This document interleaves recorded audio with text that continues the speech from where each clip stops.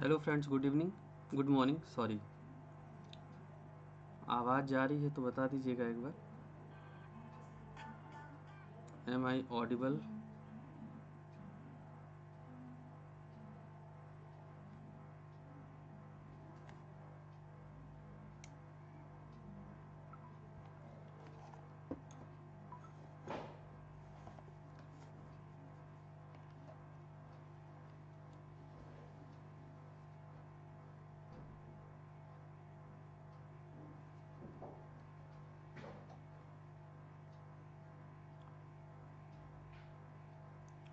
आज हम लोग स्टार्ट करने वाले आज हम लोग इंडियन रिवर्स पे बात करेंगे, है ना?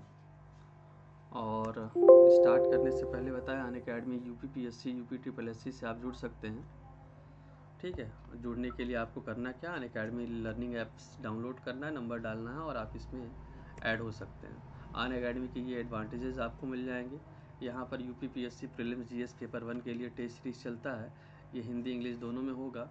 एवरी संडे टेन एम होता है और 200 मार्क्स के होते हैं। रैंक वन पे आएँगे तो आपको 100 परसेंट का स्कॉलरशिप सिक्स मंथ या उससे अधिक के प्लस सब्सक्रिप्शन पे मिल जाएगा। रैंक टू पर से थ्री पे आने पर 50 परसेंट और रैंक फोर या 25 पर आने पर 25 परसेंट का स्कॉलरशिप आपको प्राप्त होगा। तो इसका बेनिफिट आप उठा सकते हैं। इसके अलावा U P P S C R O R O prelims booster thirty minutes का सिक्स पी एम पे डेली टेस्ट होता है ट्वेंटी फाइव क्वेश्चन का। और ये Pragati U P P S C R O R O prelims booster free test series है। Every Sunday होता है दो आवर्स के घंटे के ये ड्यूरेशन होते हैं। कंप्लीट सिलेबस यहाँ पर कवर किया जाता है ना? तो इसके बारे में जानेंगे। बाकी अन अकेडमी कुछ बैचेस भी चल रहे हैं उन पर भी हम लोग बात करेंगे। तो आइए स्टार्ट करते हैं आज की ये क्लास।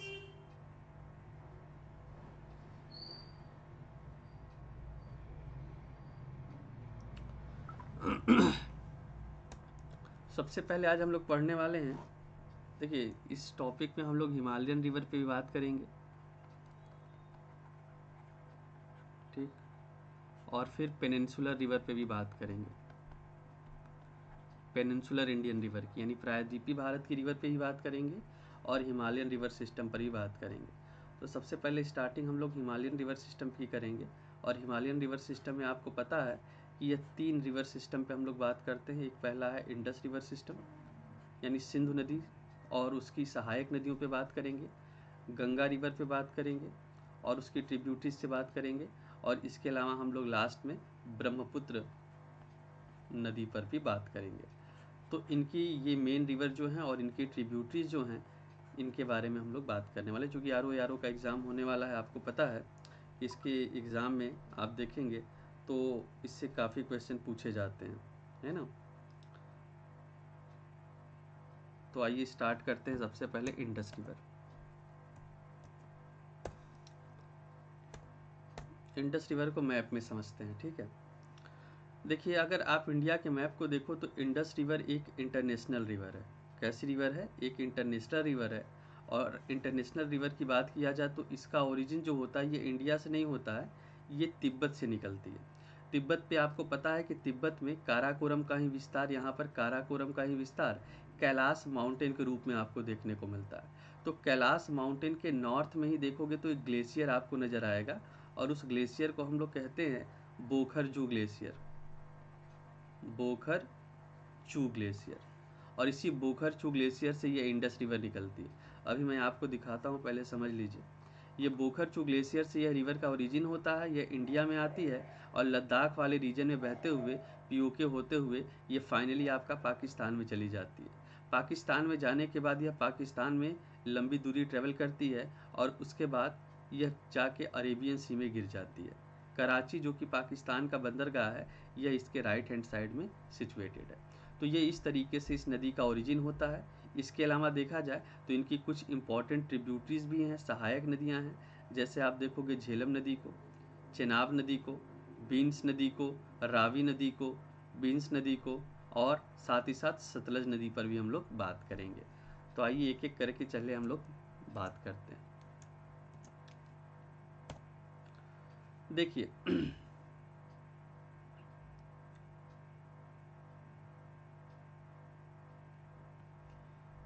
आपको पता है कि यहाँ पर एक ग्लेशियर, सॉरी, एक यहाँ पर माउंटेन रेंज है जिसको आप काराकोरम कहते हो। ठीक? और आपको पता है यहाँ पर एक माउंटेन रेंज है जिसको आप लद्दाख रेंज के नाम से जानते हैं। लद्दाख। ठीक है? लद्दाख, काराकोरम। और यहाँ पर एक रेंज है जिसको आप जास्कर रेंज के नाम से जानते हो। यानी काराकोरम, लद्दाख और जास्कर। और वहीं अगर बात किया जाए तिब्बत में तो यहाँ पर एक कैलाश माउंटेन ठीक है? तो अब यहाँ पर इसका ओरिजिन करते हैं हम लोग। एक नदी, जो कि सिंधु नदी के नाम से जानी जाती है, इंडस नदी के नाम से जानी जाती है, वो कैलाश माउंटेन के नॉर्थ में सिचुएटेड एक ग्लेशियर जिसको बोखरचू ग्लेशियर कहते हैं, उस ग्लेशियर से उसका ओरिजिन होता है। मैं लिख देता हूँ बोखरचू ग्लेशियर ग्लेशियर और यहाँ से यह नदी निकलती है, यानी तिब्बत से निकलती है। ठीक है? तिब्बत से निकलने के बाद यह नॉर्थ और वेस्ट में बहती हुई आगे बढ़ती है। नॉर्थ और वेस्ट में बहते हुए आप देखोगे तो यह आगे बढ़ती है। अब यह नदी आगे बढ़ रही है। इस तरीके।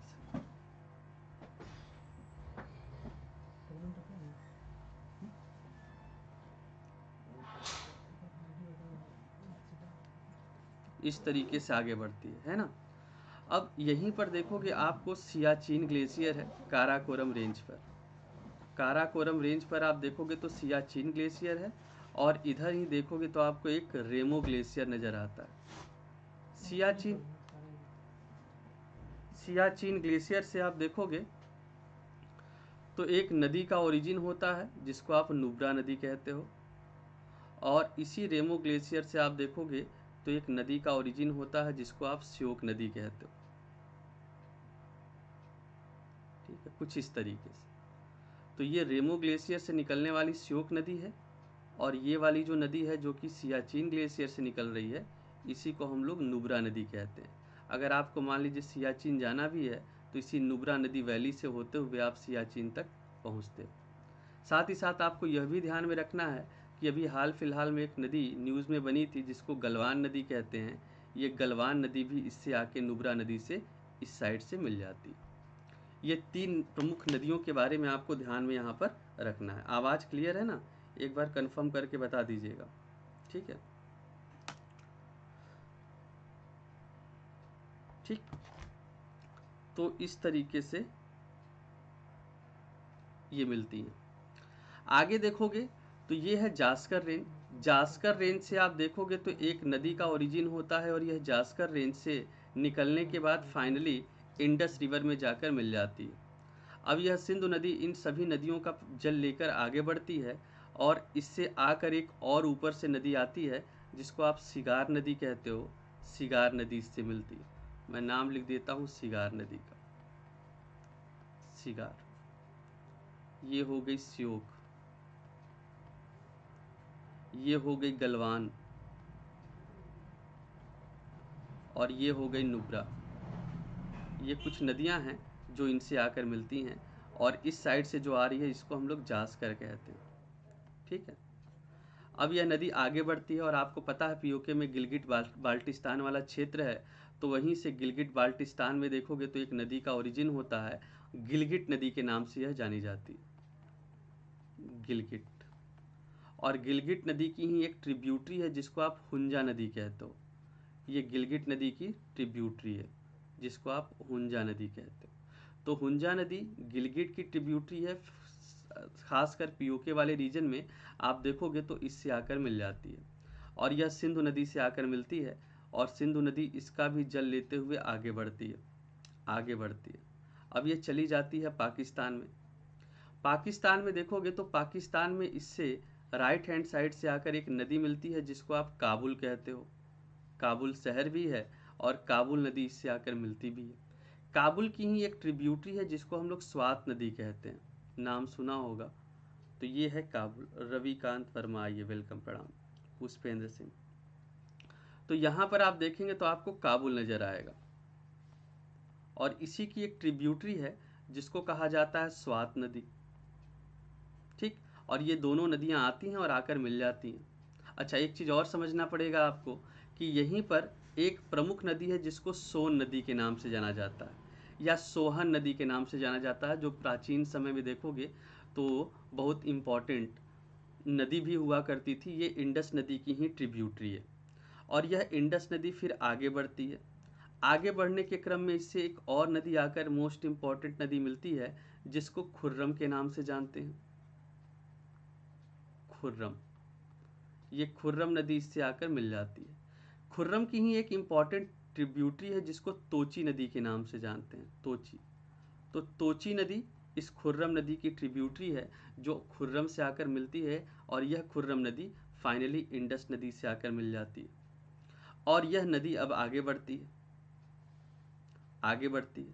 आगे बढ़ने के क्रम में एक नदी इससे आती है जिसको गोमल नदी के नाम से जानते हैं। गोमल नदी। और गोमल नदी आकर इससे मिलती है और यह फिर इंडस नदी आगे बढ़ते हुए बढ़ते हुए फाइनली यह पहुँच जाती है अरेबियन सी तक। ये अरेबियन सी तक पहुँच जाती है। और यहीं पर आप देखोगे तो आपको कराची शहर है जो कि एक पाकिस्तान का बंदरगाह है, इसके राइट हैंड साइड पे सिचुएटेड तो इस तरीके से यह नदी का ओरिजिन होता है और यह नदी बहते हुए कई नदियों का जल प्राप्त करते हुए आगे बढ़ती है और जाकर गिर जाती है अरेबियन सी में। ये इंटरनेशनल रिवर है, जैसा कि मैंने पहले भी बताया, चाइना से इसका ओरिजिन होता है, तिब्बत वाले रीजन से। इंडिया में बहती है और इंडिया में बहते हुए फाइनली यह पाकिस्तान तक पाकिस्तान तक चली जाती है। ठीक है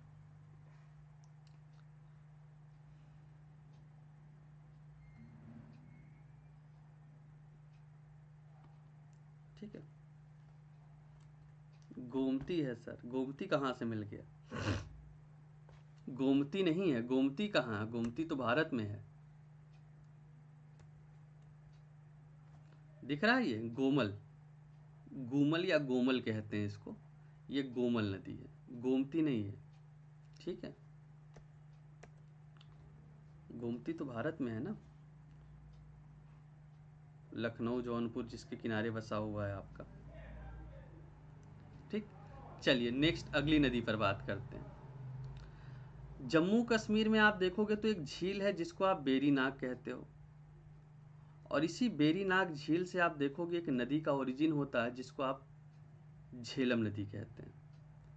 और यह झेलम नदी यहाँ से निकलती है और यह फाइनली जम्मू कश्मीर में बहते हुए आज़ाद कश्मीर होते हुए यह पाकिस्तान में चली जाती है। झेलम नदी के बारे में एक चीज़ ध्यान में रखिएगा। पहली बात तो बेरीनाग से निकलती है, जम्मू कश्मीर से निकलती है। दूसरी चीज़ आपको ये ध्यान में रखना है कि इसी बेरीनाग झील के किनारे ही आपका श्रीनगर बसा हुआ है। श्रीनगर जो है, इसी झेलम नदी के किनारे बसा हुआ है। और श्रीनगर की बात किया जाए तो झेलम नदी के किनारे बसा हुआ है। और यही नदी जब आगे बढ़ती है तो यहीं पर देखोगे तो आपको इंडिया का सबसे बड़ा मीठा पानी का झील वुलर झील नज़र आता है। और इसी वुलर झील के आगे इससे एक नदी आकर मिलती है, जिसको कहा जाता है किशन गंगा नदी। और ये किशन गंगा नदी आकर इससे मिल जाती है। और इसी के आगे देखोगे एक परियोजना है, एक डैम बनाया गया है, जिसको तुलबुल डैम के नाम से जाना जाता है। मैं यहाँ लिख देता हूँ, तुलबुल। तुलबुल परियोजना है, जो कि झेलम नदी पर है। और किशन गंगा नदी जो कि ऊपर से आकर मिल रही है किशन गंगा नदी पर भी देखोगे तो एक परियोजना है, जिसको किशन गंगा परियोजना के नाम से जानते हैं। अच्छा एक चीज़ मैं यहाँ पर और बता दूँ कि ये वाला जो रीजन आप देख रहे हो, यहाँ से एक और नदी आकर गंग, इस सिंधु नदी से मिलती है, जिसको सुरु नदी के नाम से जाना जाता है। सुरु नदी इसकी एक महत्वपूर्ण सहायक नदी है और सुरु नदी की ही एक ट्रिब्यूटरी है, जिसको हम लोग द्रास नदी कहते हैं। क्या कहते हैं? द्रास नदी के नाम से जाना जाता है। तो द्रास नदी शुरू की ट्रिब्यूटरी है और यह जाकर इंडस नदी से लेफ़्ट हैंड साइड से जाके मिल जाती है। तो सुरु नदी को भी थोड़ा सा ध्यान में रखिएगा। ठीक? द्रास नदी को भी याद रखिएगा। कभी कभी एग्ज़ाम में पूछ लेता है कि द्रास नदी किसकी ट्रिब्यूटरी है? तो इंडस नदी की। ठीक? तो ये किशन गंगा नदी हो गई, ये तुलबुल परियोजना हो गया। इसके बाद यह झेलम नदी आगे बढ़ती है। और झेलम नदी आगे बढ़ती है और आज़ाद कश्मीर में ही इस पर एक डैम बनाया गया है, इस नदी पर, जिसको मंगला डैम के नाम से जाना जाता है। मंगला। आज़ाद कश्मीर जिसको कहा जाता है, वो कश्मीर वाला ही एरिया है।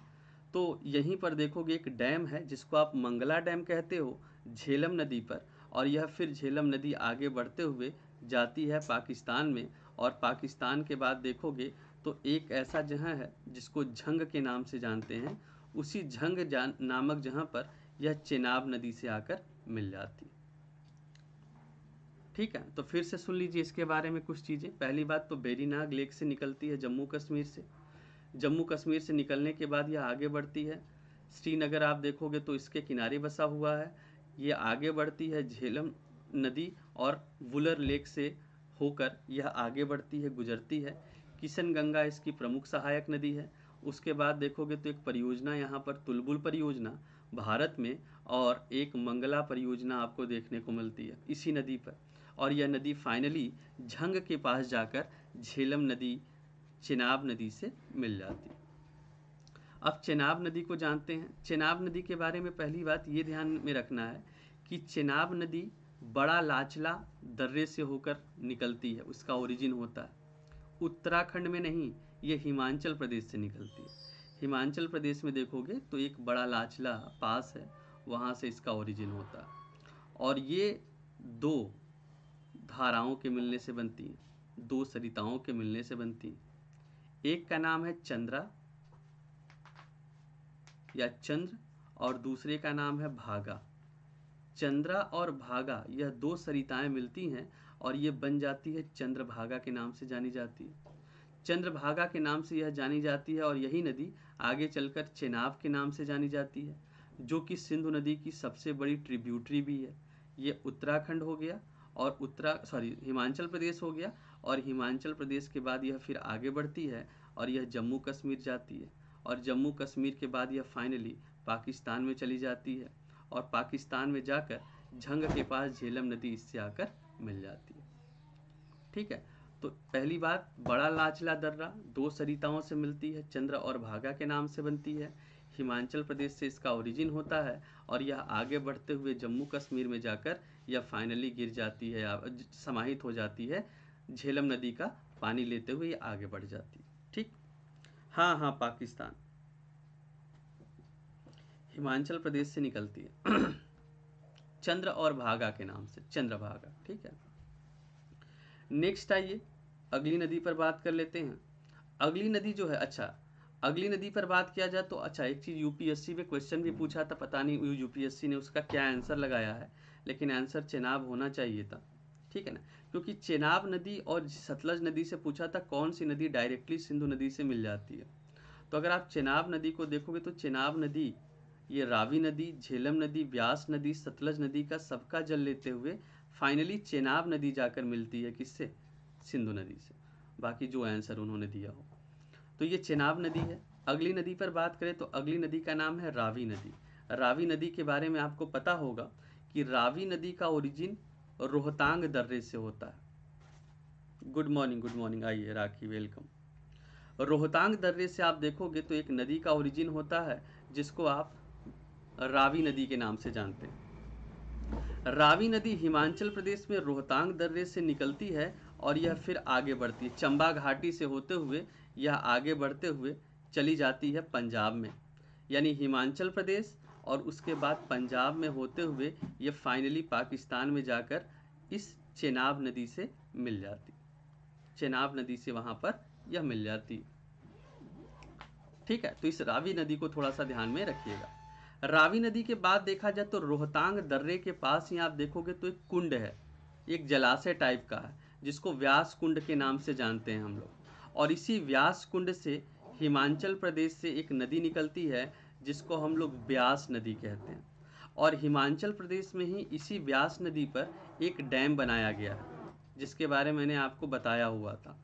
इस डैम का नाम है पोंग डैम, नाम सुना होगा आपने। हिमाचल प्रदेश में ही इसी नदी पर। हाँ हाँ बिल्कुल। इसी रावी नदी की बात की सॉरी बींस नदी की बात किया जाए या व्यास नदी की बात किया जाए तो ब्यास नदी जो है, यह ब्यास नदी आपका रोहतांग पास के पास स्थित व्यास कुंड से निकलती है और इसी पर एक पुंग परियोजना है, जिसको व्यास परियोजना या व्यास डैम के नाम से भी जाना जाता है। और फाइनली यह नदी हिमाचल प्रदेश से होते हुए पहुँच जाती है पंजाब में। और यह पंजाब में चली जाती है। और पंजाब में पहुँचने के बाद यह फाइनली एक जगह है जिसको हम लोग हरिके नाम से जानते हैं। हरिके एक स्थान है पंजाब में, आपको देखने को मिलता है। और इसी पंजाब में हरिके के पास यह जाकर अपना जल सतलज नदी में गिरा देती है या सतलज नदी से जाकर मिल जाती है। पहली चीज़। दूसरी चीज़ ध्यान में रखिएगा, एक नदी है जिसको आप सतलज नदी के नाम से जानते हो। सतलज नदी देखोगे तो यह भी तिब्बत से निकलती है। यह भी भारत से इसका ओरिजिन नहीं होता है। यह भी तिब्बत वाले मान, कैलाश माउंटेन के इधर साउथ में देखोगे तो एक आपको दिखाई देगा झील है, जिसको हम लोग मानसरोवर झील कहते हैं। लेकिन इसका ओरिजिन मानसरोवर झील से नहीं होता है। उसी मानसरोवर झील के पास स्थित एक और झील है, जिसको राकस ताल झील कहते हैं। राकस ताल। और इसी राकस ताल झील से इस नदी का ओरिजिन होता है। लगभग यह सिंधु नदी के पैरलर वहाँ पर तिब्बत में प्रवाहित होते हुए आगे बढ़ती है। इस तरीके से आगे बढ़ती है। इस तरीके से। और आपको यहीं पर बता दूँ, यहीं पर एक दर्रा है, एक पास है, जिसको सीप किला दर्रा के नाम से जाना जाता है। और ये सीप किला दर्रे से होते हुए ये इंडिया में हिमाचल प्रदेश में आती है। और हिमाचल प्रदेश में जब यह आती है तो इसी नदी पर तीन आपको देखने को मिलते हैं डैम। कौन कौन से डैम हैं, उनके बारे में थोड़ा सा ध्यान में रखिएगा। तो आइए बात कर लेते हैं सतलज नदी पर कौन कौन से डैम हैं। देखिए, पहले डैम की अगर हम लोग बात करें तो एक का नाम है नाथपा झाकरी डैम। नाथपा झाकरी। यह नाथपा झाकरी डैम आपको हिमाचल प्रदेश में सतलज नदी पर देखने को मिल जाएगा। इसी के आगे आप आगे बढ़ोगे तो इसी पर एक और डैम दिखाई देगा हिमाचल प्रदेश में, जिसको आप भाखड़ा डैम के नाम से जानते हो। भाखड़ा डैम। और इसी भाखड़ा डैम के आगे पंजाब में देखोगे, कुछ किलोमीटर दूरी पर आपको एक और डैम दिखाई देगा, जिसको आप नांगल डैम के नाम से जानते हो। नांगल डैम। तो ये नाथपा झाकरी डैम, भाखड़ा डैम और यह नांगल डैम, यह तीन प्रमुख डैम आपको इस नदी पर देखने को प्राप्त होते हैं। अच्छा एक चीज़ और यहाँ पर ध्यान में रखिएगा। इस सतलज नदी की, इस सतलज नदी की हाँ इस सतलज नदी की एक ट्रिब्यूटरी भी आपको हिमाचल प्रदेश में देखने को मिलती है। और उस ट्रिब्यूटरी का नाम है स्पीति नदी। यहाँ लिख देते हैं स्पीति। स्पीति नदी, या स्पीति नदी। और स्पीति नदी की ही एक ट्रिब्यूटरी है जिसको पिन नदी कहते हो। स्पीति नदी की ही एक ट्रिब्यूटरी है जिसको आप पिन नदी कहते हो, और यह पिन नदी स्पीति नदी से आकर मिल जाती है। और पिन वैली नेशनल पार्क भी आपको देखने को मिलता है हिमाचल प्रदेश में, है ना? तो ये स्पीति नदी इससे आकर मिल जाती है।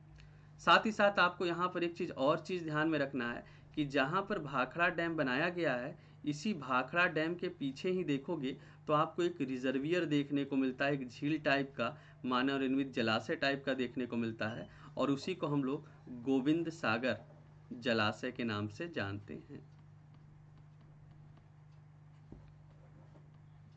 ठीक है। गोविंद सागर जलाशय के नाम से जाना जाता है। ठीक? तो इस तरीके से यहाँ पर ये आपने देखा। साथ ही साथ आपको ये भी ध्यान में रखना है कि जहाँ पर यह सतलज नदी और बिंस नदी निकल, मिलती हैं, जहाँ पर आपका हरिके नामक स्थान है। वहीं पर आपको एक वेटलैंड देखने को मिलता है। ठीक है एक आर्द्र भूमि देखने को मिलता है, जिसको हरिके वेटलैंड के नाम से भी जानते हैं। वहीं से एक नहर भी देखोगे, निकाली गई है, और इस नहर को कहते हैं, यह भारत का सबसे लंबा नहर है, जो राजस्थान तक देखने को मिलता है। इसी को इंदिरा गांधी नहर के नाम से जानते हैं। इंदिरा गांधी नहर ठीक है इस तरीके से। और फाइनली आप देखोगे तो ये नदी फिर आगे बढ़ती हुई आपका पाकिस्तान में चली जाती है। और पाकिस्तान में चली जाती है और जाते जाते जाते जाते यह फाइनली आपका मिल जाती है चेनाब नदी से। चेनाब नदी और सतलज नदी दोनों मिलती हैं। अब चेनाब नदी करती क्या है? ये चेनाब नदी पाँचों नदियों का जल प्राप्त करती है, जिसमें आपका झेलम है, चेनाब है, ब्यास है, रावी है और सतलज का ऑलरेडी है। तो चेनाब नदी व्यास, सतलज, रावी और झेलम का जल प्राप्त करती है और पाँच नदियों का जल प्राप्त करने के बाद यह पंचनद के नाम से जानी जाती है। पंचनद, यानी पंजाब की पाँच नदियाँ। और यह पंचनद के नाम से जानी जाती है और जाकर फाइनली पाकिस्तान में एक जगह है जिसको आप कहते हो मीठन कोट मीठन तो पाकिस्तान के मीठन कोट में यह पंचनद जो है, पाँचों नदियों का जल, यह फाइनली जाकर मिल जाता है इंडस नदी से। और फिर इंडस नदी आगे बढ़ती है और आगे जाकर यह गिर जाती है कहाँ पर? यह आगे जाकर गिर जाती है आपकी अरेबियन सी में, अरब सागर में। और कराची बंदरगाह इसके राइट हैंड साइड आपको देखने को मिलता है। ठीक है?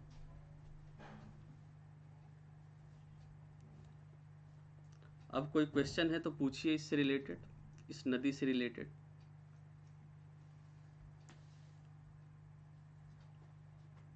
कोई क्वेश्चन है इस नदी से रिलेटेड तो पूछिए, फिर हम लोग अगली नदी पर बात करते हैं, जिसको हम लोग कहते हैं ब्रह्मपुत्र नदी. ब्रह्मपुत्र नदी. कोई कंफ्यूजन नहीं है.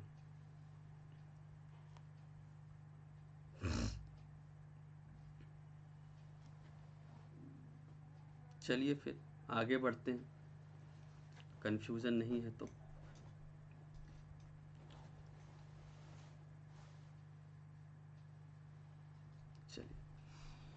तो ये सारी चीज़ें एक बार रिवाइज करा देते हैं। मैंने बताया इंडस नदी, जो कि निकलती है आपका कैलाश माउंटेन के नॉर्थ में स्थित एक बोखरचू ग्लेशियर से, उसको वहाँ पर सिंघी खम्भान के नाम से जाना जाता है। और फिर अच्छा एक चीज़ और ध्यान में रखिएगा। जब यह गिलगिट के आसपास पहुँचती है पीओके वाले रीजन में तो वहीं पर एक गहरे गार्ज का निर्माण करती है। एक महाखड्ड का निर्माण करती है, गहरे गार्ज का निर्माण करती है। और इस गहरे गार्ज को हम लोग सिंधु गार्ज के नाम से जानते हैं। सिंधु गार्ज। सिंधु गार्ज। एक महाखड्ड बनाती है। यानी हिमालय को काटते हुए फिर यह आगे बढ़ती है। ठीक है? हाँ इंडस गार्ज चलिए, बात कर लेते हैं अब हम लोग। गंगा पे कि ब्रह्मपुत्र पे? पहले ब्रह्मपुत्र पे बात कर लेते हैं ना।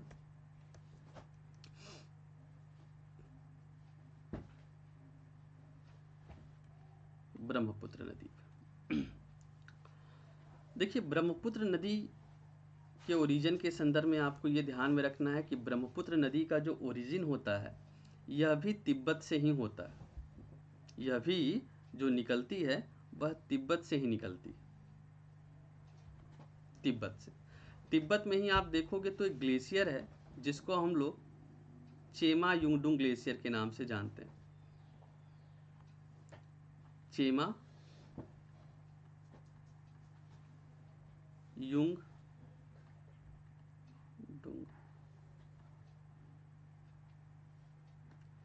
चेमा युंगडुंग तो यह चेमा युंगडुंग ग्लेशियर से इस नदी का ओरिजिन होता ठीक है? और यह निकलने के बाद ईस्ट में बहती है। इस तरीके से। ईस्ट में बहती है। तो अभी फ़िलहाल इतना इसको ध्यान में रखिए। चेमायुंगडुंग ग्लेशियर से निकलती है और अपने ईस्ट में बहती है और इसको सांगपो के नाम से जाना जाता है वहाँ पर। यानी तिब्बत में इस नदी को सांगपो के नाम से जाना जाता तिब्बत में। सांगपो कहलाती। ठीक? और यहाँ से यह तिब्बत से निकलने के बाद फाइनली यहीं पर आप देखोगे तो यहीं पर एक माउंटेन पीक है, जिसको हम लोग कहा जाता है जिसको कहा जाता है, नामचा बरवा। यह नामचा बरवा को क्रॉस करते हुए नॉर्थ से यह फाइनली भारत में हिमांचल सॉरी अरुणाचल प्रदेश में एंटर करती है। अब कैसे करती है, इसको आगे समझते हैं। हाँ हाँ सांग। कैसे करती है, ध्यान से देखिए।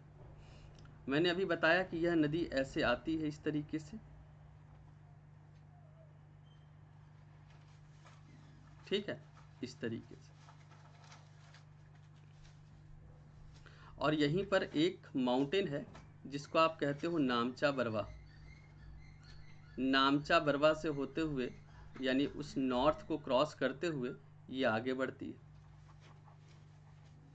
और जब यह आगे बढ़ती है तो पहले हिमालय को काटती है। और हिमालय को काट कर देखोगे तो यहीं पर एक गहरे गार्ज का निर्माण करती है। और उस गहरे गार्ज को हम लोग दिहांग गार्ज के नाम से जानते हैं। किस नाम से? तो इसी को दिहांग गार्ज के नाम से जाना जाता है। दिहांग गार्ज। दिहांग गार्ज का निर्माण करती है। यानी एक हिमालय को काट कर एक गहरे गार्ज का निर्माण करती है, एक महाखड्ड का निर्माण करती है। अब यह नदी क्या करती है? फिर यह अरुणाचल प्रदेश में आती है। अरुणाचल प्रदेश में आप देखोगे तो एक माउंटेन है एक पहाड़ी है जिसको आप अबोर कहते हो। और इधर देखोगे तो आपको एक और पहाड़ी दिखाई देगी जिसको आप मिसमी कहते हो। तो यह नदी मिसमी और अबोर, यह दो पहाड़ियों के बीच से होते हुए आगे बढ़ती है अरुणाचल प्रदेश में।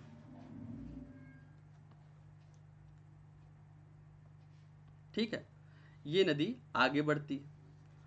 एक्चुअली इसको दिहांग कहाँ पर कहा जाता है? दिहांग इसको अरुणाचल प्रदेश में कहा जाता है। तिब्बत में ये सांगपो के नाम से जानी जाती है, और जब यह अरुणाचल प्रदेश में पहुँचती है तो इसको दिहांग कहा जाता है, और वहाँ पर यह दिहांग गार्ज का निर्माण करती अब होता क्या है? जब यह नदी आगे बढ़ती है अरुणाचल प्रदेश में तो अरुणाचल प्रदेश में बहते हुए यह पहुँच जाती है असम में।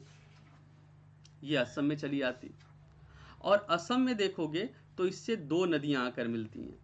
एक तो इंडिया और चाइना के बॉर्डर से एक नदी का ओरिजिन होता है, जिसको आप दिबांग नदी कहते हो। और एक और नदी है जो चाइना के तिब्बत वाले क्षेत्र से निकलती है, और उसको हम लोग लोहित नदी के नाम से जानते हैं। तो लोहित नदी और दिबांग नदी, ये दो नदियाँ आकर मिल जाती हैं किससे? ये दो नदियाँ आकर मिल जाती हैं ब्रह्मपुत्र नदी से।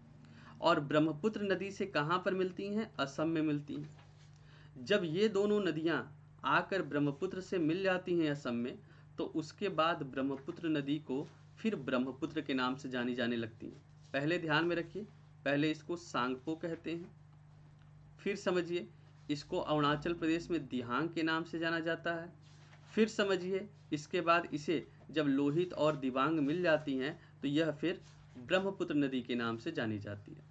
अब यह नदी आगे बढ़ती है, आगे बढ़ती है। जब यह नदी आगे बढ़ती है तो इससे कुछ और भी ट्रिब्यूटरीज आकर मिलती हैं, जिसमें से एक प्रमुख ट्रिब्यूटरी है, जिसको बूढ़ी दिहांग कहते हैं। बूढ़ी दिहांग। बूढ़ी दिहांग। इसकी एक और प्रमुख ट्रिब्यूटरी है, जो कि नागालैंड से निकलती है, जिसको हम लोग धनश्री कहते हैं। धनश्री।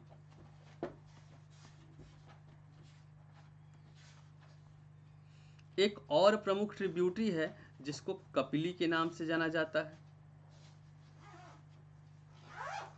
एक और प्रमुख ट्रिब्यूटरी है, जिसको कृष्णई के नाम से जाना जाता है। कृष्णई। कृष्णई।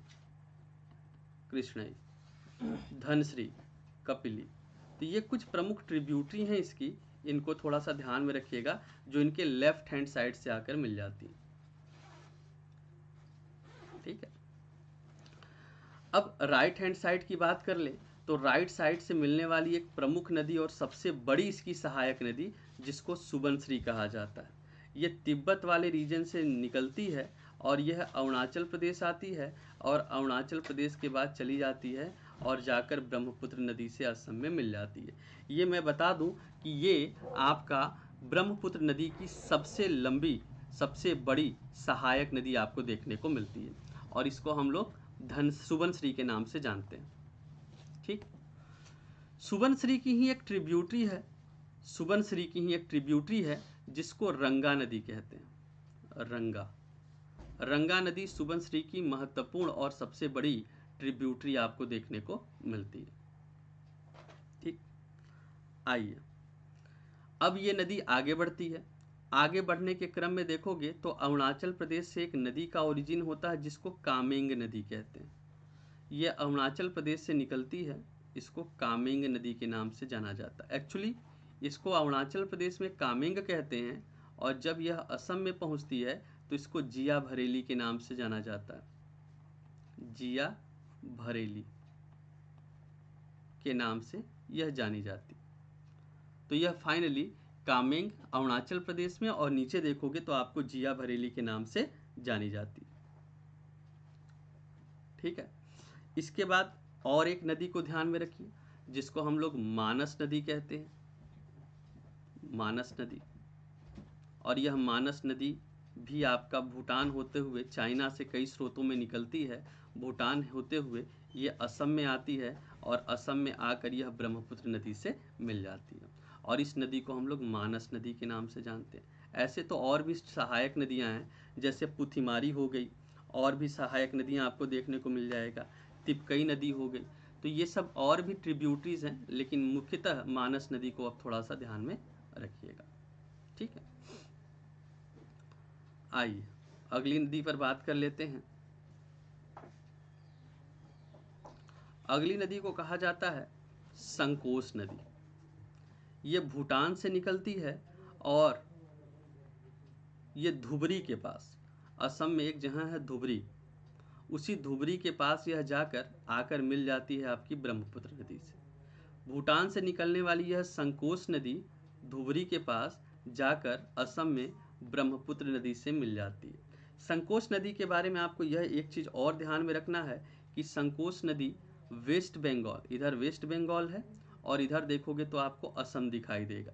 ये वेस्ट बंगाल और असम के बीच, गुड मॉर्निंग गुड मॉर्निंग आइए। यह वेस्ट बंगाल तथा असम के बीच बॉर्डर बनाती है, सीमा पर बहती है।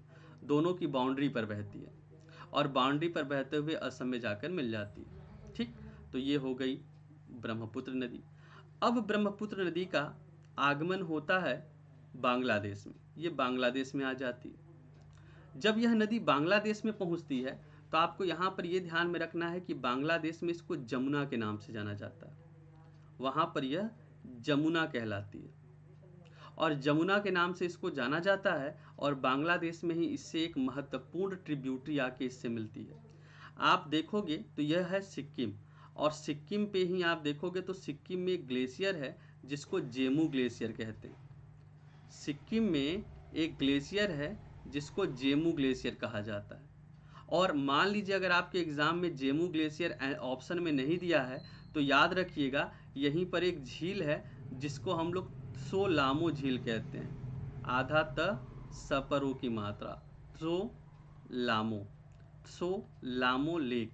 यह एक झील है, जहाँ से तिस्ता नदी का ओरिजिन होता है।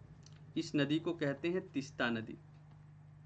तिस्ता नदी या तो जेमू ग्लेशियर दिया है तो ठीक या तो वहाँ पर कई झीलें हैं और उन झीलों में से एक झील है सोलामो और उस ग्लेशियर का पानी इस झील तक आता और इस झील से इस नदी का ओरिजिन होता है, तिस्ता नदी। और यह सिक्किम से होते हुए दार्जिलिंग वाले क्षेत्रों से वेस्ट बंगाल होते हुए फाइनली आपका पाकिस्तान में चली जाती है और पाकिस्तान में जाकर मिल जाती है आपकी ब्रह्मपुत्र नदी से।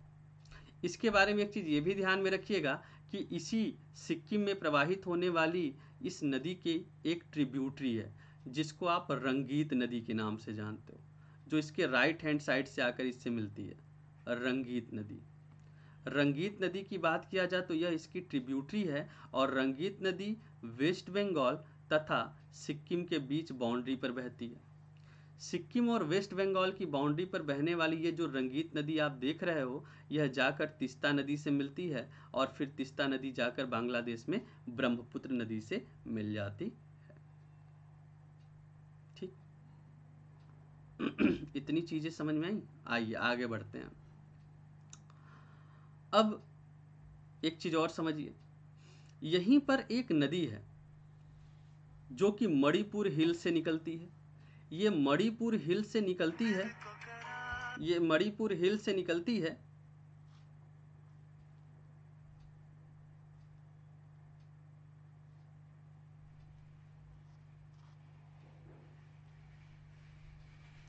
ये मणिपुर हिल से निकलती है और मणिपुर हिल से निकलने के बाद ध्यान में रखिएगा, ये चली जाती है कुछ दूरी तक आपका नागालैंड में, ऐसे। और नागालैंड के बाद यह फिर मणिपुर में आती है। और मणिपुर के बाद आने के बाद यह थोड़ी दूर तक मिजोरम में जाती है। यहाँ पर बनाया नहीं है, लेकिन जान लीजिए, थोड़ी दूर तक मिजोरम में जाती है। और मिजोरम के बाद यह नदी असम में आती है। और असम के बाद यह चली जाती है बांग्लादेश में। और बांग्लादेश के बाद यह फाइनली बांग्लादेश में ही आप देखोगे तो इस ब्रह्मपुत्र नदी से मिल जाती है। फिर से सुनिए, इस नदी का ओरिजिन मणिपुर हिल से होता है मणिपुर में। और यह फिर नागालैंड में जाती है थोड़ी दूर तक। और फिर यह आपका मणिपुर में बहते हुए थोड़ी दूर तक मिजोरम में जाती है। और उसके बाद यह असम में चली जाती है। यानी कुल मिलाकर देखा जाए तो यह इंडिया के चार राज्यों में प्रवाहित होती है। इस नदी को स्टार्टिंग में बराक नदी के नाम से जाना जाता है। जब यह नदी असम और वेस्ट बंगाल के बॉर्डर पे या सीमा पर बहती है तो इसको सुरमा नदी के नाम से जाना जाता है, सुरमा नदी। और यही नदी जब और आगे बढ़ती है तो यही नदी मेघना के नाम से जानी जाने लगती है, मेघना। तो आगे पहला अपर स्ट्रीम बराक मिडिल वाला सुरमा और सबसे नीचे वाला मेघना है। और यही मेघना नदी जाकर फाइनली इस ब्रह्मपुत्र नदी से मिल जाती है। एक्चुअली इसको ब्रह्मपुत्र नदी कहना गलत होगा। क्यों कहना गलत होगा? क्योंकि यहाँ से एक नदी आती है, जिसको गंगा नदी कहते हैं।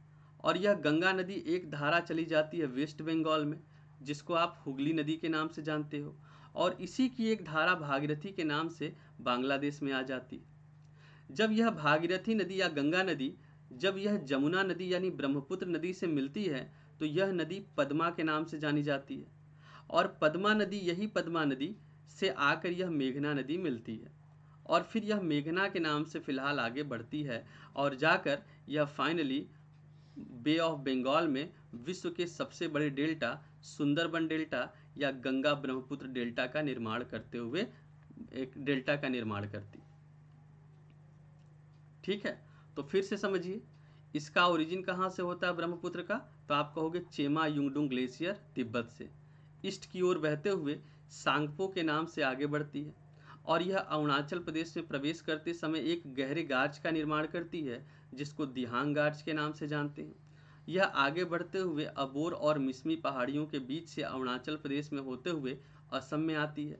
इससे दिबांग तथा लोहित नदियाँ आकर मिलती हैं। लोहित नदी पर आपको पता है कि ढोला से सदिया के बीच में भारत का सबसे बड़ा नदी पुल बनाया गया है, जिसको भूपेन हजारिका नदी पुल के नाम से जानते हैं, या ढोला सदिया पुल के नाम से भी जाना जाता है। अब यह नदी आगे बढ़ती है, फिर बूढ़ी दिहांग, धनश्री, कपली, कृष्णई, कई सहायक नदियाँ इससे आकर मिलती हैं। वहीं ऊपर से देखोगे तो इसकी सबसे बड़ी सहायक नदी, सबसे बड़ी ट्रिब्यूटी, जिसको हम लोग सुबनसिरी के नाम से जानते हैं, वो भूटान से, सॉरी तिब्बत से निकलते हुए अरुणाचल प्रदेश होते हुए असम में आकर मिल जाती है इससे। उसी की एक ट्रिब्यूटरी है रंगा नदी। जिया भरेली एक ट्रिब्यूटरी है इसकी जिसको कामेंग के नाम से जानते हैं। मानस नदी इसकी ट्रिब्यूटरी है संकोच नदी इसकी ट्रिब्यूटरी है और तिस्ता नदी इसकी ट्रिब्यूटरी है।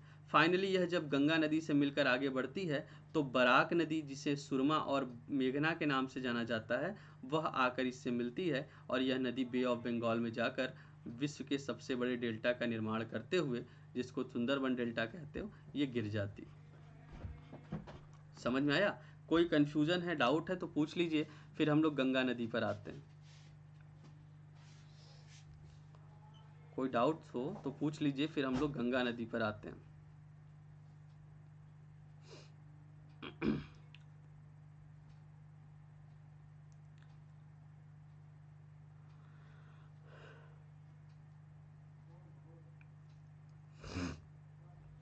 कोई डाउट नहीं है। देख लीजिए कोई डाउट हो तो। एक मिनट का टाइम दे देते हैं।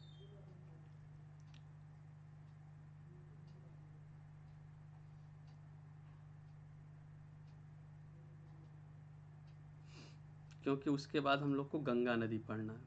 ठीक है?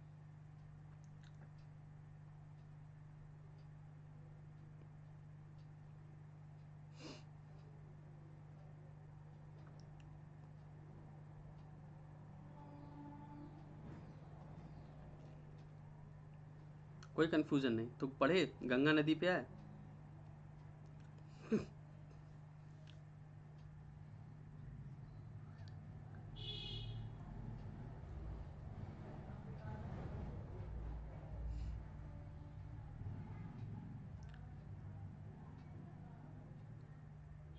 चलिए, कोई कंफ्यूजन नहीं है तो फिर गंगा नदी पे चलते हैं, ठीक है? देखिए, गंगा नदी आपको पता है, ये भी हिमालय तंत्र का ही एक भाग है, जिसको आप गंगा नदी के नाम से जानते हो।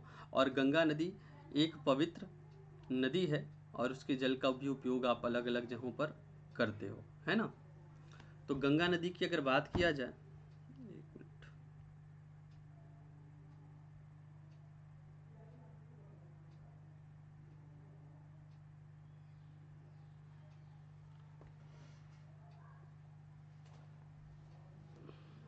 आइए आइए, ऋषिकेश वेलकम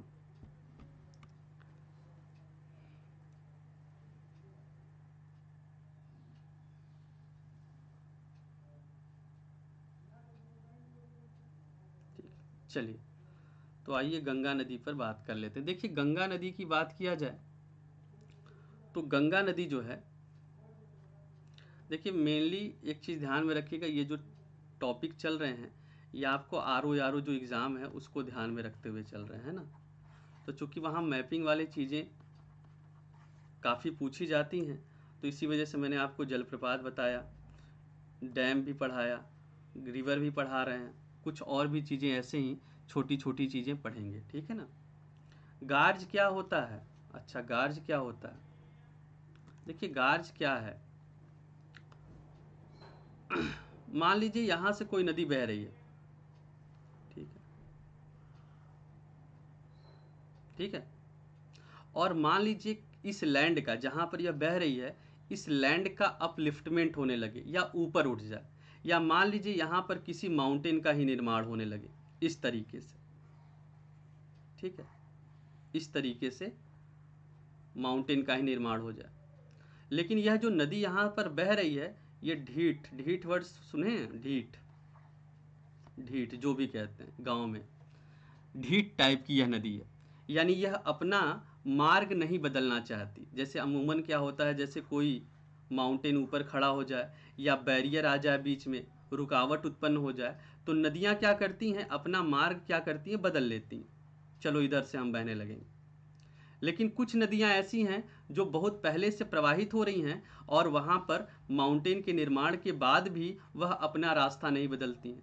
उस कंडीशन में क्या होगा? उस कंडीशन में अगर मान लीजिए यह माउंटेन बह रहा, ऊपर उठ भी रहा है तो जहाँ से यह नदी बह रही है, जहाँ से यह नदी पहले से बह रही है अगल बगल वाला माउंटेन वाला रीजन तो उठ जाएगा अपलिफ्टमेंट हो जाएगा या ऊपर उठ जाएगा। लेकिन जहाँ से यह नदी बह रही है, वह उस माउंटेन वाले रीजन को या उस एरिया को, उस क्षेत्र को कट करती चली जाएगी, काटती चली जाएगी, यानी इसको ऊपर उठने नहीं देगी। और अगल बगल वाले क्षेत्र को अगर आप देखोगे तो उसकी तुलना में यह काफ़ी उठ गया रहता है। और कुछ इस तरीके से आपको बनावट देखने को मिलेगी। जैसे ये वाला है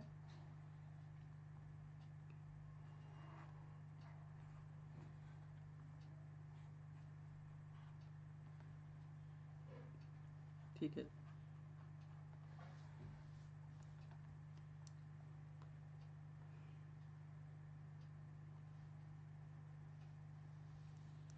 अरे बिल्कुल बनाएँगे। मिनरल्स वाला भी मैंने शायद शेड्यूल में रखा है। वर्ल्ड के इम्पोर्टेंट मिनरल्स वाला, टॉपिक इंडस्ट्रीज़ वाले, एरिया वाले बनाने वाले हैं ना? तो पढ़ाएँगे। यहाँ पर देखिए तो मान लीजिए यह नदी बह रही है और इसको कट करती चली जा रही है। तो ऊपर से देखने पर आपको कुछ इस तरीके से दिखाई देगा। अगर मान लीजिए यहाँ पर आप खड़े भी हो जा रहे हो तो ऊपर से छलांग मारने की कोशिश भी करोगे तो आपको खड़ी, एक खड़ी गहराई वाली जो ढाल है खड़ी ढाल आपको देखने को मिलेगी, एक गहरा भाग देखने को मिलेगा। यही वाला गार्ज, जैसे इसी, आप देखो इंडस नदी के बारे में बताया। तो इंडस नदी जब गिलगिट के आसपास पहुँचती है तो वहाँ पर हिमालय को कट करते हुए गार्ज इसी तरीके से महाखड्ड का निर्माण करती है। आप दिहांग नदी को देखो, जब यह पहुँचती है तो हिमालय को कट करते हुए जब आती है अरुणाचल प्रदेश में तो वहाँ पर भी दिहांग गार्ज का निर्माण करती है। तो इसी तरीको हम लोग गार्ज कहते हैं। देखिए, एक चीज़ यहाँ ध्यान रखिएगा। वी आकार वी आकार का ही एक विस्तृत रूप मान लो गार्ज हो गया, लेकिन वह थोड़ा सा अपेक्षाकृत गहरा होता है और थोड़ा सा खड़ा होता है। और यही जो गार्ज होता है, इसी का और ज़्यादा विस्तृत रूप अगर आप देख लोगे तो उसी को कैनियन कहा जाता है। जैसे कि आप देख लोगे तो आपको कई कैनियन आपको देखने को मिल जाएगा। ग्रैंड कैनियन आप यूएसए का देख लो, वह सबसे बड़ा कैनियन है। तो तीनों में यही है वी आकार से बड़ा जो हो गया, गार्ज हो गया, और गार्ज से भी विस्तृत हो गया तो वो कैनियन हो गया। बाकी इस पे बारे में मैंने वीडियो बनाया है एक एक के बारे में, आप देख लीजिएगा। आइए पहले गंगा को हम लोग समझते हैं। देखिए, गंगा नदी का ओरिजिन कैसे होता है? तो पहले यहाँ पर समझा दे आप, फिर उसके बाद आगे बढ़ते देखिए, गंगा नदी का ओरिजिन जो होता है, वो हिमालयी क्षेत्र से होता है। हिमालयी क्षेत्रों में आप देखोगे तो उत्तराखंड में एक जहाँ है उत्तरकाशी ज़िले इस ज़िले में आप देखोगे एक जहाँ है गोमुख। और उसी गोमुख के पास आप देखोगे तो आपको एक ग्लेशियर देखने को मिलता है, जिसको आप कहते हो गंगोत्री। तो गोमुख के पास स्थित गंगोत्री के पास से उत्तराखंड से इसका ओरिजिन होता है, जो कि यह ग्लेशियर आपको ग्रेटर हिमालय पर देखने को मिलेगा। अब यह गंगा नदी भागीरथी के नाम से यह उत्तराखंड से निकलती है। फिर यह यूपी में आती है। यूपी में बिजनौर ज़िले से एंट्री मारती है और बिजनौर ज़िले से एंट्री मारते हुए, ये प्रयागराज से होते हुए, ये बिहार में जाती है। और थोड़ी सी दूरी पर यह देखोगे तो झारखंड में भी जाती है और झारखंड के बाद यह दो वितरिकाओं में बढ़ जाती है, दो डिस्ट्रीब्यूटरी में बढ़ जाती है। वितरिका मतलब या डिस्ट्रीब्यूटरी मतलब क्या होता है? वितरिका का मतलब हो गया, जैसे मान लीजिए यह कोई नदी है, बड़ी नदी है, और यह दो भागों में डिवाइड हो जाए। और इसका पानी दोबारा कभी ना मिले। इसका पानी दोबारा एक दूसरे से कभी ना मिले। जैसे कि मान लीजिए गंगा नदी को ही देखिए, ये वेस्ट बंगाल में हुगली के नाम से चली जाती है और आगे भागीरथी के नाम से चली जाती है। लेकिन इसका पानी एक दूसरे से फिर दोबारा नहीं मिलता है। तो यह हुगली क्या है? हुगली गंगा नदी की ही एक वितरिका है। सहायक नदियाँ क्या है? मान लीजिए किसी नदी से कोई दूसरी नदी आकर मिल रही है तो वह उसकी ट्रिब्यूटरी या सहायक नदी हो जाती है। कभी कभी क्या होता है, लड़कियाँ जैसे चोटी बांधती हैं, गूंथती हैं। नहीं गूंथती हैं। लड़कियों को देखोगे ऐसे चोटी गूंथती हैं। ऐसे। ऐसे। तो ऐसे गूथा करती हैं। तो आप देखोगे तो कुछ नदियाँ ऐसी भी होती हैं। कुछ नदियाँ क्या करती हो बहते हुए आती हैं इस तरीके से। और जब यह बहते हुए आती हैं तो अपने साथ काफ़ी सेंडिमेंट्स लाती हैं और यहाँ पर डिपॉजिट कर देती हैं। अब यह दो भागों में डिवाइड हो जाती हैं ऐसे ऐसे बट गई। फिर आगे चलकर यह दोनों एक दूसरे से मिल जाती हैं, इस तरीके से मिल गई। फिर कुछ दूर तक बही, फिर यहाँ पर डिपोजिशन कर दी, फिर यह आगे चली गई। ऐसी नदियों को हम लोग गुम्फित नदी कहते हैं, या ऐसी बनी स्थलाकृतियों को हम लोग गुम्फित स्थलाकृति के नाम से जानते हैं। और इस प्रकार की स्थलाकृति या इस प्रकार की नदी की बात किया जाए तो ब्रह्मपुत्र नदी इसका सबसे अच्छा एग्ज़ाम्पल है। ब्रह्मपुत्र नदी को देखोगे ब्रह्मपुत्र नदी को आप देखोगे तो ब्रह्मपुत्र नदी ऐसा काम करती है, जब वह असम वैली वाले रीजन में पहुँचती है। तो जब यह असम वैली वाले रीजन में पहुँचती है तो इस प्रकार के अवसाद डिपॉजिट करती जाती है। और इसी वजह से देखोगे तो असम में ब्रह्मपुत्र नदी द्वारा कई नदी द्वीपों का निर्माण किया गया कई रिवर आइलैंड का निर्माण किया गया कई नदी द्वीपों का निर्माण देखने को मिलता है। और उसी नदी द्वीपों में आप देखोगे तो माजुली नदी द्वीप, जो कि विश्व का सबसे बड़ा नदी द्वीप है वह यहाँ पर आपको देखने को मिलता है। ब्रह्मपुत्र नदी पर ही, है ना? तो ये गुमफित नदी फ़िलहाल आइए हम लोग गंगा नदी पर चलते हैं। देखिए, गंगा नदी, पहली बात तो ये उत्तराखंड, यूपी, बिहार, झारखंड और वेस्ट बंगाल। यह इतने राज्यों में होकर बहती है। एक छोटा सा होमवर्क यहाँ पर मैं दे देता हूँ। आपको ये पता करना है कि यूपी के कितने डिस्ट्रिक्ट से होकर गंगा नदी बहती है। ठीक है ना? यूपी नदी कितने सॉरी यूपी के कितने डिस्ट्रिक्ट से होकर गंगा नदी बहती है? पता करिएगा, ठीक है? आइए, अब हम लोग समझते हैं। तो पहले उत्तराखंड चलते हैं ना, कि उत्तराखंड में ये नदी कैसे बनती है और क्या होता है।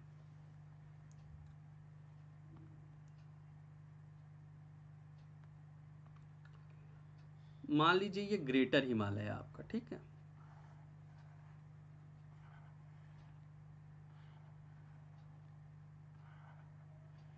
ग्रेटर हिमालय। ठीक है? और इसी हिमालय वाले रीजन में आपको कुछ ग्लेशियर आपको ध्यान में रखने हैं।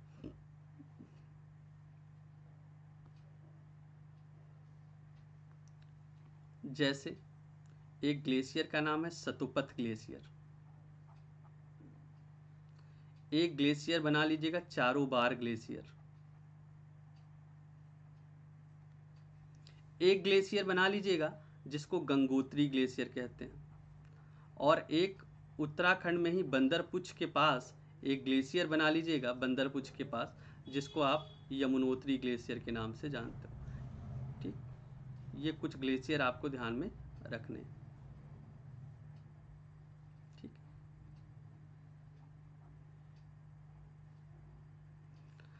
अब इन्हीं ग्लेशियर से आप देखोगे तो कुछ नदियों का ओरिजिन होता है। कुछ नदियाँ निकलती हैं।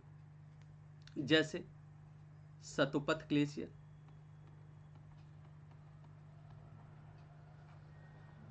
चारों बार ग्लेशियर। गंगोत्री ग्लेशियर। और यमुनोत्री ग्लेशियर। ठीक? अब देखिए सतुपथ ग्लेशियर से एक नदी का ओरिजिन होता है, जिसको आप कहते हो अलकनंदा।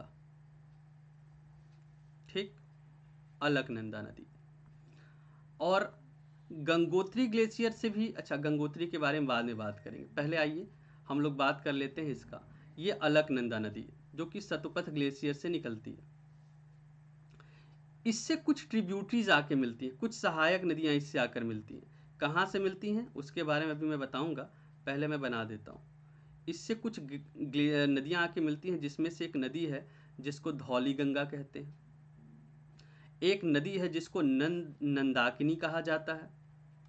एक नदी है, जिसको पिंडार नदी के नाम से जाना जाता है। तो ये कुछ नदियाँ हैं, जो इससे आकर मिलती हैं। जो नदी जिसको मैंने धौलागिर बताया, ये धौलागिर नदी जो कि अलकनंदा की ही ट्रिब्यूटरी है, यह माना ग्लेशियर से निकलती है। माना ग्लेशियर एक और नदी है, जिसको मैंने आपको नंदाकिनी बताया, यह त्रिशूल ग्लेशियर से निकलती है। और एक और, जिसको पिंडार नदी बताया, इसको ध्यान में रखिएगा, यह पिंडर या पिंडार ग्लेशियर से निकलती और यह तीनों अलग अलग जहाँ पर अलग अलग प्रयाग जहाँ पर मिलती हैं, वो अलग अलग प्रयाग के नाम से जाना जाता है वो स्थल, जिसमें से जहाँ पर माना ग्लेशियर मिल, मिलता है उसको विष्णु प्रयाग कहते हैं। विष्णु प्रयाग जहाँ पर त्रिशूल से निकलने वाली नंदाकिनी मिलती है उसको नंद प्रयाग कहते हैं नंद प्रयाग। जहाँ पर पिंडार नदी आकर अलकनंदा से मिलती है उसको हम लोग कर्ण प्रयाग कहते हैं। ये हो गया ठीक है। दूसरी चीज़ एक चीज़ और ध्यान में रखिए। चारों बार ग्लेशियर से भी एक नदी का ओरिजिन होता है और यह चारों बार से ओरिजिन होने वाली नदी, इसको हम लोग महा मंदाकिनी के नाम से जानते हैं। ये मंदाकिनी कहलाती है और ये मंदाकिनी रिवर गंगा नदी से जहाँ पर मिलती है, उसी को हम लोग रुद्रप्रयाग के नाम से जानते हैं। इतनी चीज़ें ध्यान में रखिएगा। पहली चीज़ ठीक, दूसरी चीज़ ध्यान में रखिए।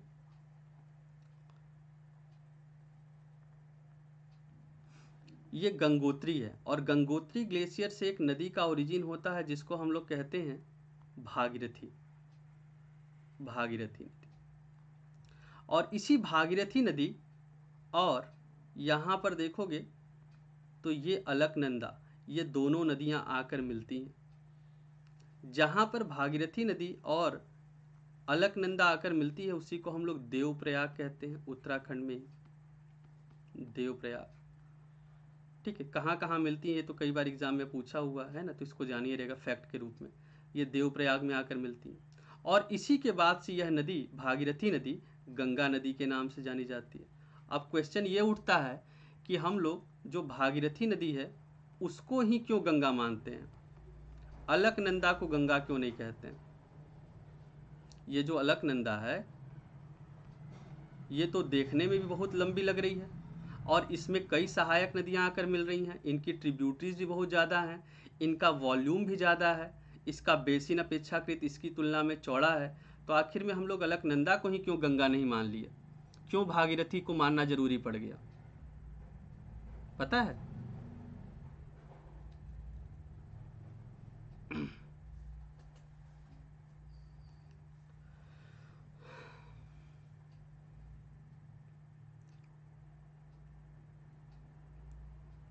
ठीक तो अब यहाँ पर एक चीज़ समझिएगा। पहली बात तो इससे एक और नदी आकर मिलती है। अब आपको होमवर्क दे देते हैं, इस नदी का ओरिजिन कहाँ से होता है, किस ग्लेशियर से होता है, ये आप पता लगाइएगा। मैं बता देता हूँ इसका नाम, इसको भिलंगना कहते हैं। भिलंगना। भिलंगना कहते हैं, किस ग्लेशियर से निकलती है, ये आपको पता करना है, ठीक है? ये होमवर्क दे देते हैं। जहाँ पर भिलंगना भागीरथी नदी से मिलती है टिहरी वाले जहाँ पर, वहीं पर एक डैम बनाया गया है, भारत का सबसे ऊँचा डैम, जिसको टिहरी डैम कहते हैं। है ना? अब चूँकि जहाँ पर दो नदियाँ मिलेंगी तो वहाँ का पानी का स्तर भी बढ़ जाएगा। पानी ज़्यादा हो जाएगा, डैम बना दिया गया है, और यह भारत का सबसे ऊँचा डैम। ठीक, अब यह नदी आगे बढ़ी। और यह अलकनंदा आके मिल गई भागीरथी से।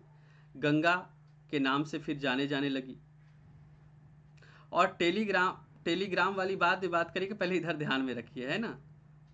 नहीं तो आपका कमेंट के चक्कर में मेरे को टेलीग्राम ही बोल पाएँगे, है ना? पहले इधर ध्यान में रखिए। इधर देखिए, यहाँ पर पहले ऋषिकेश पड़ता है।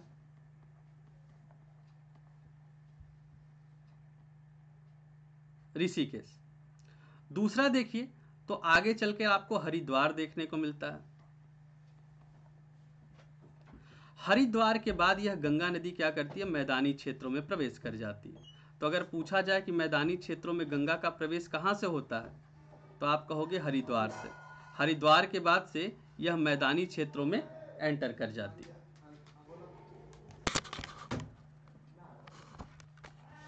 ठीक है? पहली चीज़। दूसरी चीज़, अब आपको यह भी जानना ज़रूरी है कि आखिर में यह भागीरथी नदी जो है और अलकनंदा नदी जो है तो अलकनंदा नदी भागीरथी नदी से क्यों मिलती है? तो आपको पता है कि जिस भी नदी का बेसिन गहरा होगा, जैसे मान लीजिए यह नदी है और यह एक और नदी है, इस, एक और नदी का बेसिन है ये। लेकिन इस नदी का जो बेसिन आप देख रहे हो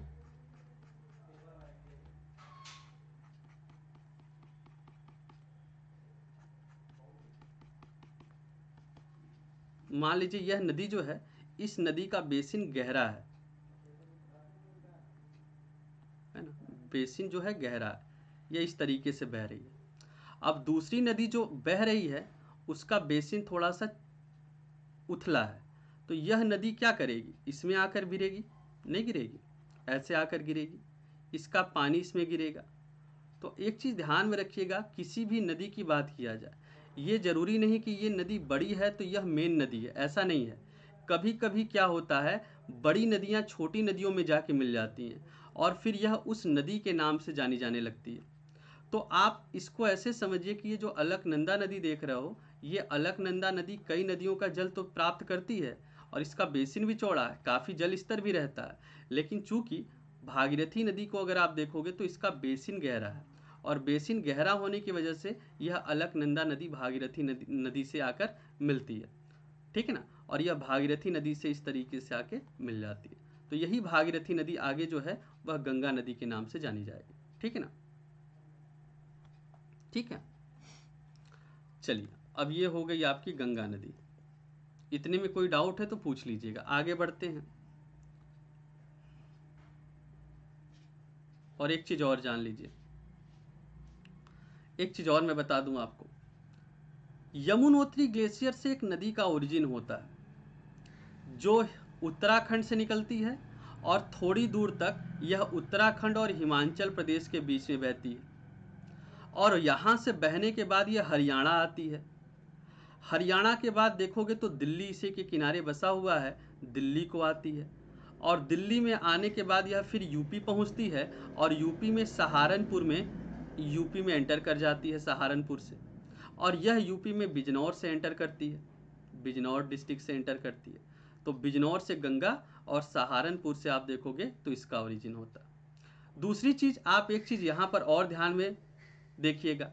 यह उत्तराखंड, हिमाचल प्रदेश, हरियाणा और दिल्ली और यूपी। यह पाँच यूनियन टेरिटरीज और अगर हम लोग स्टेट को मिला दिया जाए तो दोनों को मिला दिया जाए तो यह दोनों सॉरी यूटी और स्टेट को मिला दिया जाए तो ये पाँच राज्यों से होकर बहती है।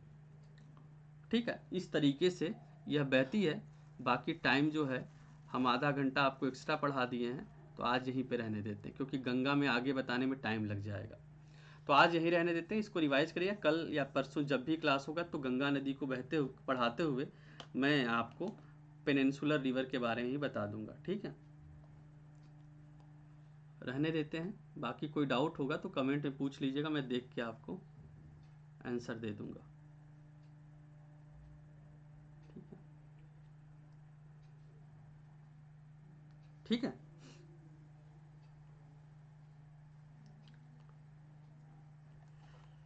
ओके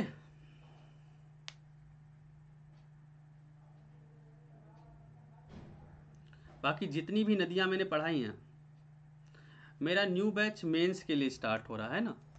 मेरा न्यू बैच मेंस के लिए स्टार्ट हो रहा है, जो कि आपका ट्वेंटी ट्वेंटी सिक्स नवंबर से हो रहा है। और एक बैच आपका ट्वेंटी फिफ्थ दिसंबर से स्टार्ट हो रहा है, जो आपका ह्यूमन जोग्राफी के लिए ह्यूमन एंड इको जोग्राफी के लिए, ये भी मेंस के लिए है है ना? और ये भी मेंस के लिए है। इसमें हम लोग इंडियन और फ़िज़िकल जोग्राफी को पढ़ेंगे, ये भी मेंस के लिए तो दो बैचेज स्टार्ट हो रहे हैं। अभी एक रनिंग में है इंडियन जोग्राफी का, जिसमें हम लोग प्रीलिम्स को ध्यान में रखते हुए बात कर रहे हैं। तो अभी तक जितना मैंने पढ़ाया, ये ब्रह्मपुत्र नदी के बारे में बताया, गंगा नदी के बारे में जितना बताया, जितना मैंने आपको यहाँ पर इंडस नदी के बारे में बताया, इनको थोड़ा सा ध्यान में रखिएगा रिवाइज करिएगा। मिलते हैं अगली क्लास में तो हम लोग टाइमिंग उसकी साढ़े चार बजे से होगी, है ना? साढ़े चार बजे से हम लोग पढ़ेंगे ठीक चलिए तब तक के लिए बाबा टेक केयर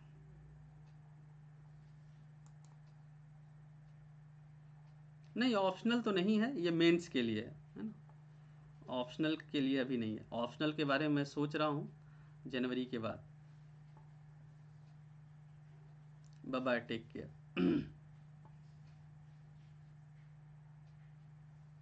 हाँ आर के लिए है। R O UPSC UPPSC mapping तो हर जगह काम आता है ना?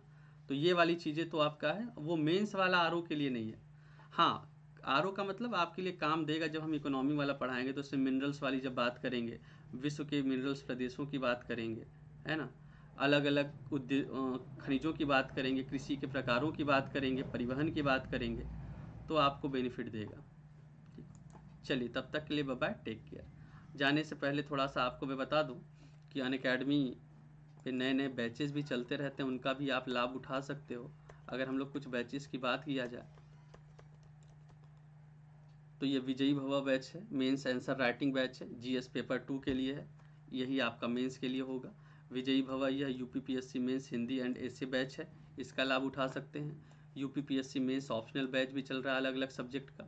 इसके अलावा UP triple S C UPPSC ये आपका मेंस आंसर राइटिंग बैच है जीएस पेपर टू के लिए। विजयी भवा नामक मेंस, हिंदी और इंग्लिश बैच है।